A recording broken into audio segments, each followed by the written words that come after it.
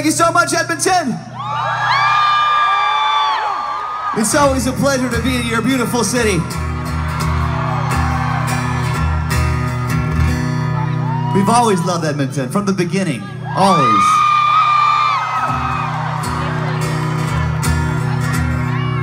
You guys know what a rock show is supposed to feel like. And you know how to party over here. How about a little fashioned sing-along all together? How about we do that? Let's start with a hand clap.